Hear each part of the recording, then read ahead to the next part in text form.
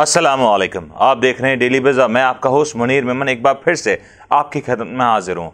आज के प्रोग्राम में जो हम मेन स्टोरी कवर करने जा रहे हैं, वो है हमारे प्यारे नबी हज़रत मोहम्मद मुस्तफ़ा सल्लल्लाहु अलैहि वसल्लम के ऊपर। हमारे प्यारे नबी, जिनके ऊपर हमारी जान, माल और औलाद, यहाँ तक कि दुनिया की हर शय कुर्बान, उनके नामोस के ऊपर किसी किस्म की कोई सौदेबाजी नहीं की जाएगी। किसी किस्म का कोई कॉम्प्रोमाइज़ नहीं किया जाएगा।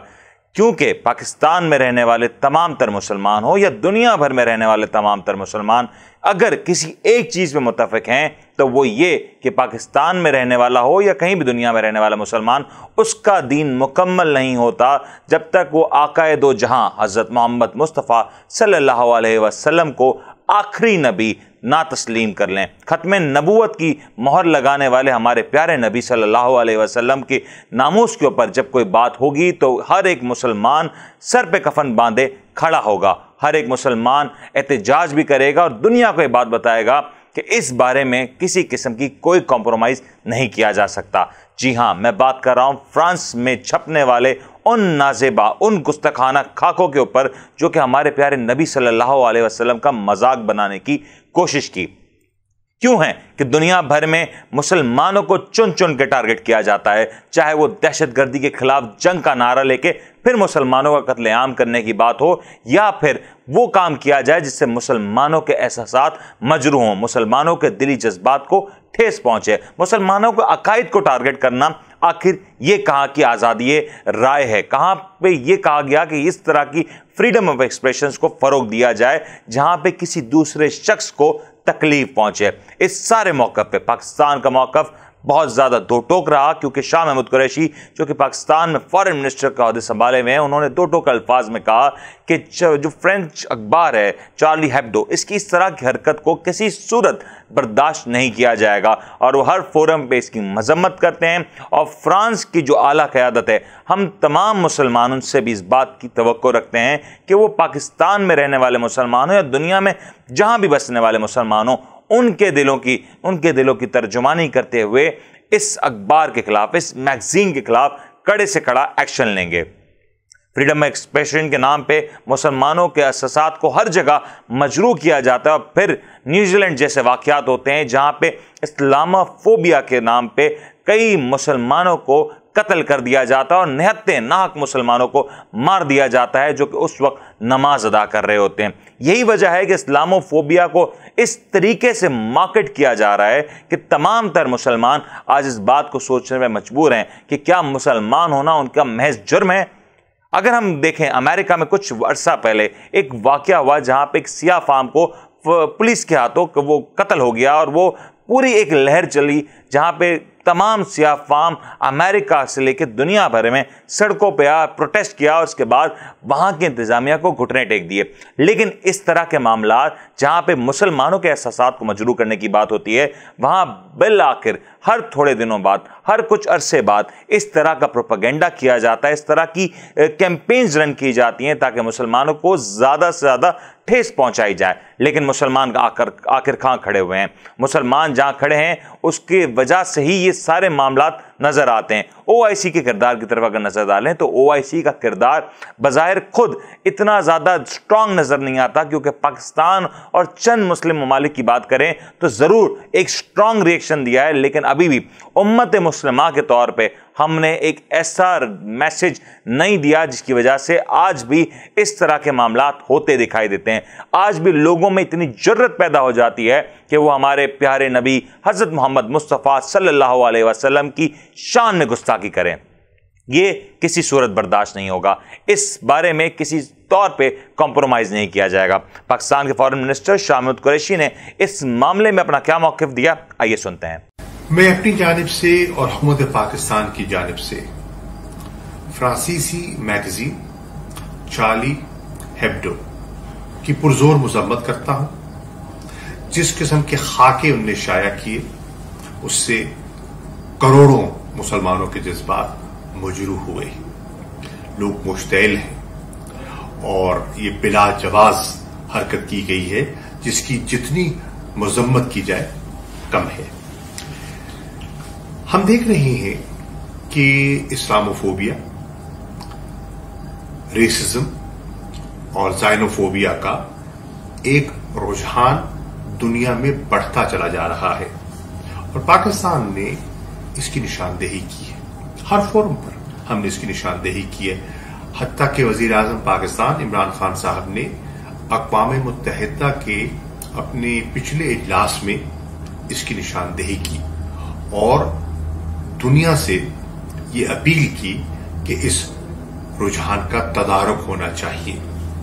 बैन अवी सतह पर मिल बैठकर सोचना चाहिए कि ऐसे रुझानात जो कि लोगों की दिल आजारी करते हैं, उनके जज्बात को मजरू करते हैं। हमने मिलकर उनके खिलाफ बंद कैसे बांधना है? पाकिस्तान एक जमहूरियत है और जमहूरियत जो है, वो इजहार राय की कायल हुआ करती है। लेकिन इजहार राय की आज़ादी आपको ये लाइसेंस नहीं देती कि आप लोगों के जज्बात को मजरूह करें।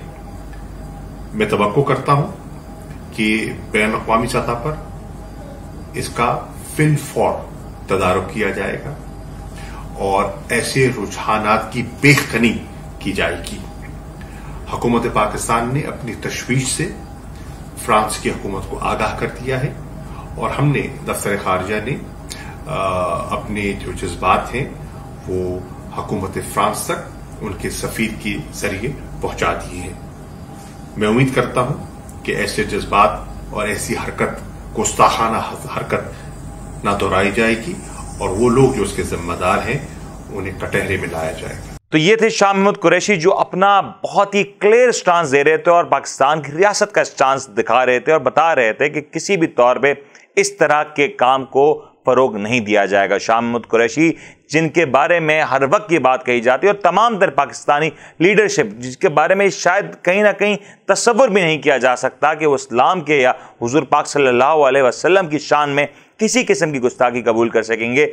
हमने देखा कि बहुत ही दो टोक अंदाज में उन्होंने अपना मौक़ दिया, पाकिस्तानी अवाम की तर्जुमानी की और भरपूर तर्जुमानी की। लेकिन ज़रूरत इस बात की है कि ओ आई सी कहाँ सोया हुआ है। ओ आई सी को जागना होगा और मुसलमानों के जो मुतालबात हैं, उनको मनवाने पड़ेंगे। दुनिया भर में जितनी बड़ी आबादी और जितनी बड़ी इकानमीज मुस्लिम कंट्रीज़ के पास हैं, इतनी ताकत होने के बावजूद, इतने इख्तियार होने के बावजूद भी अगर आज मुसलमानों को इस तरह की शर्मनाक चीज़ों का सामना करना पड़ता है तो वो सिर्फ़ और सिर्फ़ इस वजह से कि मुसलमान एक उम्मत बन के आगे नहीं बढ़ते नज़र आते हैं। यहाँ पे लेते हैं एक छोटा सा ब्रेक। ब्रेक के बाद वापस आते हैं और नज़र डालते हैं कि इकोनॉमी के फ्रंट पर क्या हो रहा है।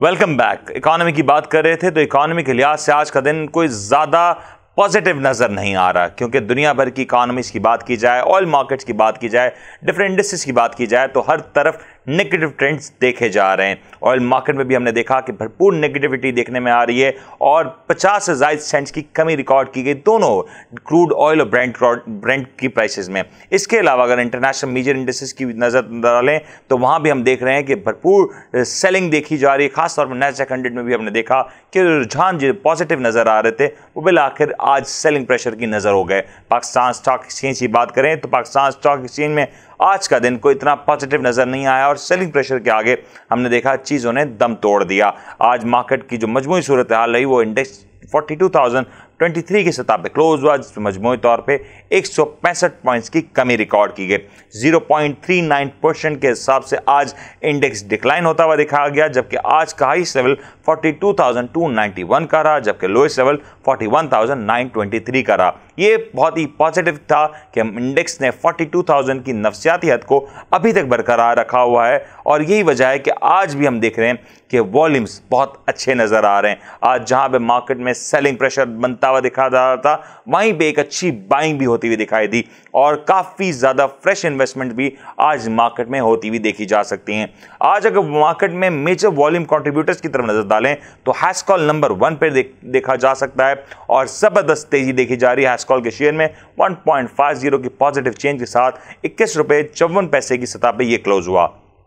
एफ़ एफ़ एल एक रुपये तेरह पैसे के सतह पे क्लोज हुआ और सोलह आशारिया दो तीन के नंबर्स पे ये भी क्लोज होता हुआ देखा जा सकता है। Unity zero point four zero के पॉजिटिव चेंज के साथ क्लोज हुआ।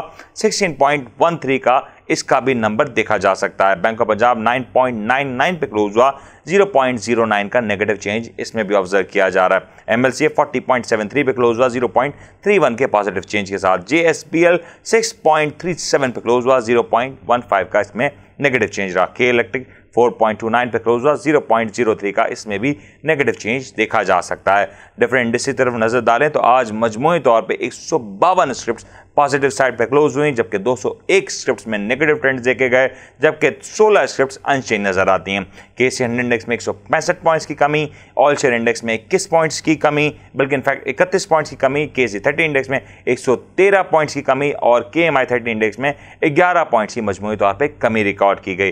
P S X K M I all share index में नौ आशारिया पाँच पाँच पॉइंट्स का इजाफा रिकॉर्ड किया। लेकिन ओवरऑल सूरत हाल अगर हम देखें तो आज मार्केट में सेलिंग प्रेशर काफ़ी ज़्यादा डोमिनेट करता हुआ नज़र आ रहा था। आज मार्केट में जो ओवरऑल हम देख रहे थे पॉजिटिविटी दिखाई दे रही थी, उसको कहीं ना कहीं ब्रेक्स आए और मार्केट में जो रुझान थे प्रॉफिट टेकिंग का रुझान जो बनता हुआ दिखाई दे रहा था, उसने मार्केट फोर्सेस को काफ़ी ज़्यादा ओवरलैप किया और यही वजह है कि आज मार्केट में जो रुझान थे वो चेंज होते हुए नज़र आए। इंडेक्स ग्रीन जोन से बिलाकर रेड जोन में ट्रेड हुआ और काफ़ी ज़्यादा जो सेलिंग हुई इससे उम्मीद की जा रही है कि ये कहीं ना कहीं मार्केट के लिए नई स्पेस क्रिएट कर सकती है। आने वाला वीक मार्केट के लिए बहुत इंपॉर्टेंट होगा, क्योंकि काफ़ी ज़्यादा एक्सपेक्टेशंस हैं लोगों की आने वाले हफ़्ते में मार्केट की परफॉर्मेंस को लेकर आज के लिए फ़िलहाल इतना ही, कल तक के लिए अपने होस्ट मुनीम को इजाज़त दीजिए, अपना बहुत बहुत ख्याल रखिएगा। अल्लाह हाफिज़।